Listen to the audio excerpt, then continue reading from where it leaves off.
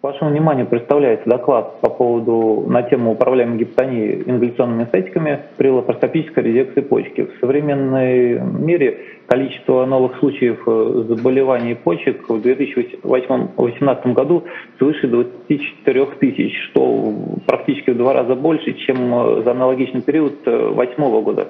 Соответственно, данное заболевание увеличивается в процентном соотношении и в абсолютных цифрах и, соответственно, его нужно лечить. Э, лечит его, соответственно, не хирургическими методами и хирургическими методами. К хирургическим методам относится нефректомия, э, когда убирается полностью почка, но в современном мире, мире стараются максимально сохранить э, почку и максимально сохранить объем паренхимии. Поэтому стараются использовать резекцию почки, резистировать почку. Из методов хирургического хирургических методов используется либо наложение почечной, э, наложение зажима на почечную артерию, это ишемическая резекция почки, из плюсов минимальная кровопотеря, удоб, удобство работы хирургу, но ограниченные хирурги по времени. Там не больше 30 минут желательно работать. В противном случае выраженная почечная недостаточность э, может прослеживаться до года. Второй метод – это безишемическая резекция почки – Э, сюда относится как э, локальная гипотермия, когда открывают э, большой разрез, открывают, выносят почку на переднюю брюшную стенку и откладывают ее льдом. И также используют второй метод, это зероишемия с помощью управляемой гипотонии. Плюсы данного метода то, что можно более длительно работать на почке, нет ишемического повреждения почки, но возможно более большая кровопотеря э, при, э, при данном варианте. Э, были в свое время проведены исследования итальянскими учеными на тему управляемой гипотонии при резекции почки. Пациенты были взяты по АСА первой и второй группы, и вывод ученых показал то, что довольно-таки эффективная методика, не очень большая кровопотеря – и если правильно э, оперировать, скажем так, если хирурги умеют оперировать, и у них есть опыт работы уверенно лапароскопически, эндоскопически, то э, проблем не возникает ни с кровопотерей, ни в раннем послеоперационном периоде э, у пациентов. Как правило, их выписывали довольно-таки быстро, и основные осложнения связывались именно с хирургическими проблемами, с гипотонией, проблем не возникало, то есть повреждение острого почечного повреждения не возникало. Э, управляемую гипотонию также используют и в других э, э, видах хирургического леч... хирургических операций, таких как эндопротезирование тазобедренного сустава и в челюстно-лицевой хирургии. Есть большие обзоры, которые показывают то, что гипотония не влияет на функцию почки в послеоперационном периоде и на организм в целом. Единственное, что следует отметить, есть все-таки работы, которые говорят то, что управляемая гипотония во время операции не всегда это хорошо, но э, пример статьи медиков из э, клиники МИО, но там пациенты изначально были с выраженной сопутствующей патологией, и задавать вопрос о том, что есть смысл им проводить э, было управляемую гипотонию или нет, э, ставится под вопросом. Но вот они говорят то, что э, почечная недостаточность возникла двух пациентов э, в раннем послеоперационном периоде и связана именно с управляемой гипотонией интероперационной. Под управляемой гипотонией разные учреждения подразумевают разные значения систолического, диастолического давления, среднего артериального давления. Кто-то вообще смотрит на относительные цифры, то есть в процентах от э, рабочего давления либо от перфузионного давления. В связи с этим нет э, четкого понятия, как правильно проводить управляемую гипотонию, и все выводы, которые делаются вот в большом данном э, исследовании, говорят то, что надо индивидуально подходить к каждому пациенту, и если Э, проводить гипотонию, то меньшее количество осложнений возникает при более мягком э, снижении давления. В нашем учреждении управляемой гипотония, под управляемой гипотонией подразумевается снижение среднего перфузионного давления на 30% от рабочего, но не ниже 55-60 мм ртутного столба. Э, с 2016 по 2020 год э, в институте было проведено большое количество резекций почки с использованием управляемой гипотонии и 109 резекций, при которых использовались препараты ингаляционной, ингаляционной анестетики для создания управляемой гипотонии.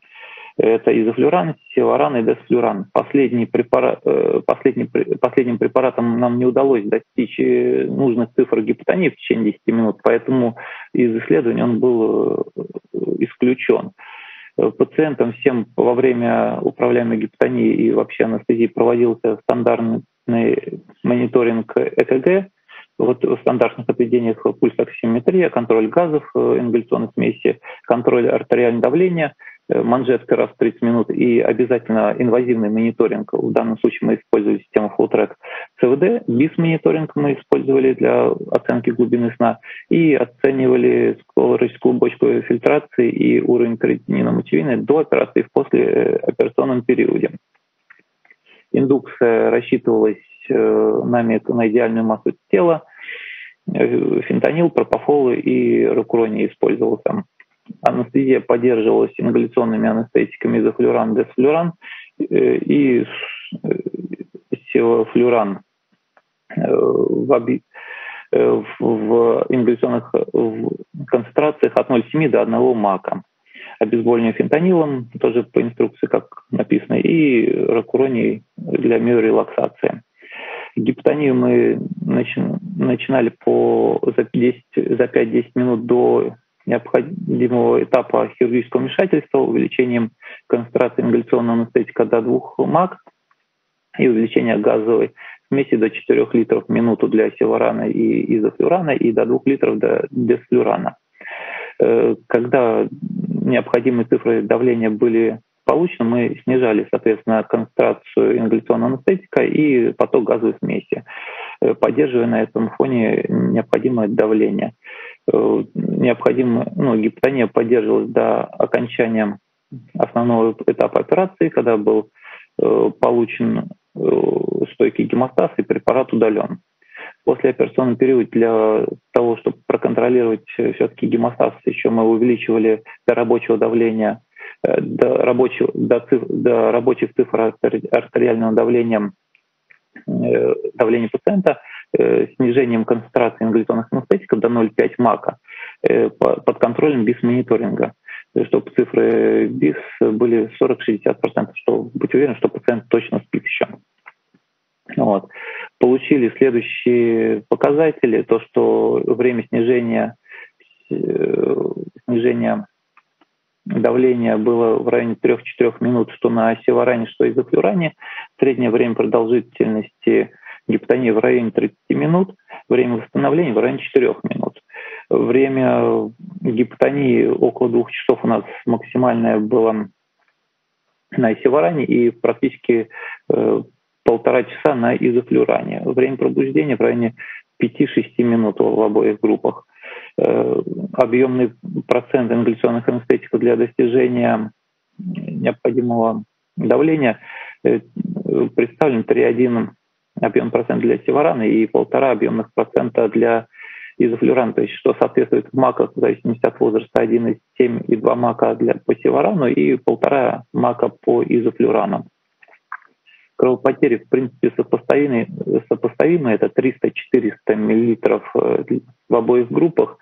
Причем следует отметить, что группа изофлюрана набиралась немножко пораньше, первой, соответственно, хирурги э, начинали только отрабатывать методику резекции почки на управляемой гипотонии, и там возникало большее количество кровопотерь, ну, более большая кровопотеря, что, в принципе, видно и в максимальной кровопотере, и в количестве переливания крови, то есть там чуть побольше было гемотрансфузий.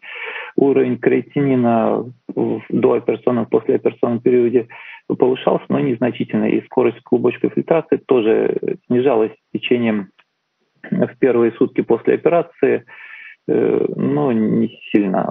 Более длительный анализ затруднялся оценки креатинина и скорости клубочковой фильтрации тем, что пациенты, как правило, выписывались на третий-четвертый день, и собрать подробно результаты биохимических анализов на третий и шестой месяц э, затруднительно. Сейчас вот обрабатываем данные, пока что недостаточное количество пациентов выбрано. Вот, э, в послеоперационном э, периоде тошнота и рвота наблюдалась приближенно одинаковом проценте случаев.